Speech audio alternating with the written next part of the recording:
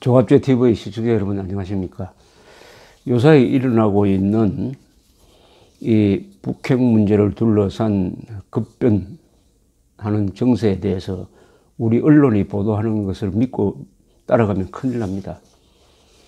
우리 언론은 이런 사건이 나면 항상 낙관적인 방향으로 그 정권이 원하는 방향으로 보도를 하는데 나중에 종착점이 어디냐 하면은 벼랑 앞에 가서 딱 멈추는 경우가 많습니다. 진실을 보도하지 않는다는 가장 중요한 근거는 이겁니다. 이번 정의용 특사가 한국에 와서 김정은이가 이렇게 이야기했다 라고 한 말 중에서 제일 중요한 게 한반도 비핵화를 비핵화의 의지를 어, 분명히 했다. 그러니까 우리가 들으면 북한의 핵을 포기하겠다고 이야기했다 하는 이런 엄청난 이야기를 전했는데 언론이 그 한반도의 비핵화가 뭐냐 무슨 뜻이냐 하는 것을 거의 국민들한테 소개를 하지 않고 있습니다. 소개하지 않는 정도가 아니라 김정은이가 핵 폐기 의사를 밝혔다는 식으로 왜곡 전달하고 있습니다. 생각해 보십시오. 김정은이가 핵 폐기를 다짐할 수 있습니까, 지금? 정말 그렇게 한다면 아마 총 맞아 죽을 겁니다. 핵 개발을 위해서 지난 30년 동안 모든 것을 희생하고 주민들을 굶겨 죽이고 개혁 개방을 거부하고 장성택도 죽이고 이복형도 죽이면서 이제 겨우 손에 넣은 이 핵무기를 폐기해버리면은 김정은한테 남는 거는 고철밖에 안 되는 재래식 무기 아닙니까? 누가 김정은을 그 뒤에 그들 때 보기는 하겠습니까? 핵 폐기 절대로 불가능합니다. 결론부터 이야기하면 유일한 방법은 북한 정권이 핵을 안고 무너져 버리는 겁니다. 무너져 버리는 겁니다. 그런데 마치 핵 폐기가 가능한 것처럼 일종의 일종의 거대한 환상을 지금 만들고 있는 것이 한국 언론입니다.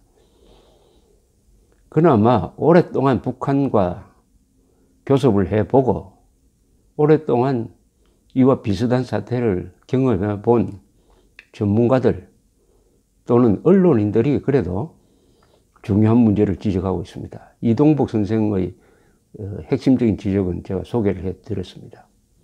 또 한 사람, 어, 고참 언론인의 지적, 어느 언론도 보도하지 않는 이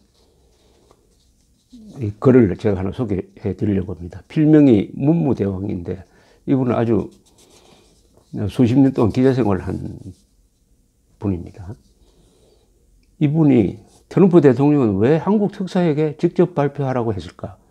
이런 제목으로 글을 써서 저한테 보냈습니다. 이게 핵심 아닙니까? 세상에 미국 역사상 이런 일 처음입니다. 이렇게 중대한 역사적 회담을 백악관 대변인이 발표하지 않고 자신을 찾아온 정의용 특사에게 발표를 하라 해놓고 트럼프 대통령이 뭘 했냐면은 기자들한테 자기가 직접 연락을 해가지고 중대 발표가 있으니까 들으라고 이야기를 했습니다. 지금까지 트럼프 대통령 공식적으로는 이 김정은과 만나겠다는 이 이야기, 정의용 특사가 대신 발표한 내용에 대해서 구체적인 설명을 하지 않고 있어요. 왜 이랬을까? 여기에 의문을 제기하는 사람, 기자들이 별로 없는데, 바로 이 고참 기자의 시각으로 본 그 해명이 아주 재밌습니다. 제가 읽으면서 설명을 드리겠습니다. 트럼프 미국 대통령은 김정은이 트럼프 대통령을 만나고 싶다고 했다는 말을 정의용 청와대 안보실장으로부터 전해 들은 뒤 좋다. 만나겠다고 적석해서 답했다. 그리고 한 발 더 나아가 여기까지 온 김에 직접 발표해 달라고 했다. 그래서 정의용 특사가 백악관에서 미국 정상회담 소식을 직접 기자들에게 밝혔다. 미국 트럼프 대통령과 김정은의 만남 소식을 백악관 측이 직접 발표하지 않고 한국 특사에게 직접 밝히라고 한 배경에 대해 어느 언론도 분석 보도를 하지 않고 있다. 미국 대통령에 대한 중대 외교 사항을 미국 측이 직접 발표하는 것은 당연한 것이다. 그런데도 트럼프 대통령이 빅뉴스거리를 한국 특사로 하여금 발표하게 한 것은 분명히 숨은 의도가 있을 것으로 보인다. 미국은 30여 년 동안 제네바 합의를 비롯한 수많은 협상과 합의에서 결정적 순간에 북한으로부터 약속 불이행의 수모를 겪었다. 그래서 이번에도 김정은의 갑작스런 제의에 대해 반신반의하면서도 적각수락이란 카드를 꺼내 들면서 만일의 경우 김정은의 배신에 대한 책임은 중개 역할을 하고 있는 한국 측이 책임지라 며 무거운 짐을 대신 지게 한 것이 아닐까 분석을 하는 외교 전문가도 있다. 그렇게 분석하는 외교 전문가도 있다. 그러나 언론은 그런 식으로 보도하지 않습니다. 이 문무대왕이란 필명의 언론인이 이렇게 또 이어갑니다. 앞으로 예상되는 김정은의 꼼수에 대해 미국이 놀아나지 않겠다는 의지의 천명일 수도 있다. 미국의 입으로 미북 정상회담을 말하지 않고 한국의 입으로 말하게 하여 한국의 운전자 역할을 책임지고 하라는 강조의 의미로도 해석할 수 있다. 문재인 정부가 한미 관계는 물론 세계의 외교 무대에서 거짓말쟁이, 거짓말짱이가 되고 안 되고는 김정은 말 한마디에 달려 있다. 한마디로 외주를 타고 있는 고개사의 위험 같은 것이다. 지금 문재인 정부는 특사들이 몰고 온 김정은 면담 소식에 한껏 고조되어 있다. 김정은에 대해 호평 일색이다. 김정은 위원장의 배려심을 느꼈다. 쉽지 않는 난제들을 말끔히 풀어가는 과정에서 김정은 리더십을 확인할 수 있었다. 솔직하고 대담한 스타일, 숙성된 고민, 여유, 박학다식. 북한은 대단히 자존심이 강한 나라다. 북한 최고 지도층에 김여정 같은 성격의 사람이 있는 것이 다행스럽다 등등.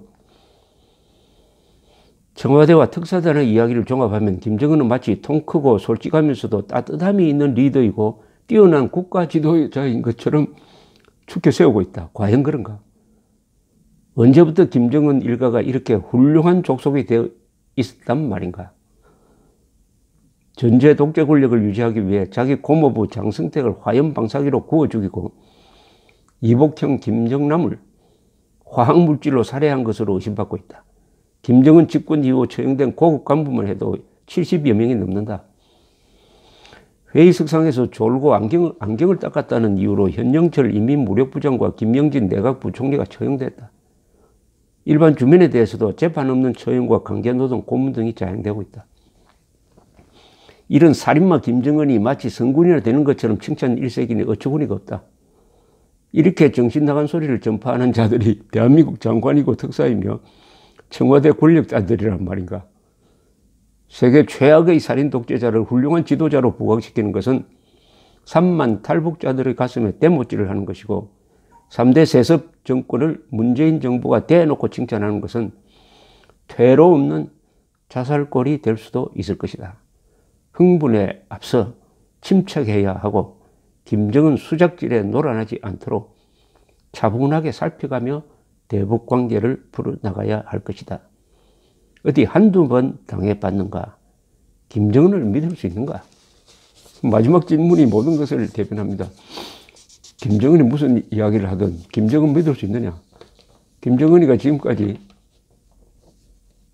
아버지, 할아버지, 3대에 걸쳐서 못된 짓 한 것을 단 한 건이라도 김정은이가 인정하고 사과한 적이 있느냐? 김정은이가 한 핵과 관련된 약속, 평화와 관련된 약속 중에 단 하나라도 지켜진 것이 있느냐? 이런 질문을 하고 있는 것이죠. 트럼프는 그런 사정을 알기 때문에 나는 속지 않는다. 그러나 중개자가 이런 말을 하니까 그것을 사실이라고 인정하고 내가 발표하면 내가 묻게니까 당신이 한 발표를 해봐라. 해가지고 공을 한국 측에 넘겼으니까 이제 문제는 김정은의 말이 어떻게 나오냐는 거죠. 북한 정권이 아 우리가 트럼프하고 만나자고 하는 데는 이런 이러한 전제 조건이 있다. 이런 의제를 가지고 논의하자. 하고 딴소리를 하고 나오면은 그때부터는 대혼란에 빠지고 중개 역할을 한 문재인 정권이 아주 곤란하게 된다. 그런 것을 예상해가지고 이 노련한 협상의 전문가인 트럼프가, 트럼프가 전례 없이, 전례 없이 정의용 특사에게 아주 중요한 발표를 하도록 했는데, 이제 한번 두고 보자. 김정은의 입에서 무슨 말이 나오는지 두고 보자. 그것과는 별도 문제로 지금 한국 언론이 김정은을 이렇게 띄우는 청와대의 말을 이렇게 전해준다는 게 이게 맨정신이냐. 요새 언론계에서 농담이 있습니다. 기자 정신의 반대말은 뭐냐? 맨정신이랍니다. 기자 정신의 반대말은 선동이어야 될 텐데, 기자 정신의 반대말이 맨정신이랍니다. 한국 언론의 현주소입니다. 감사합니다.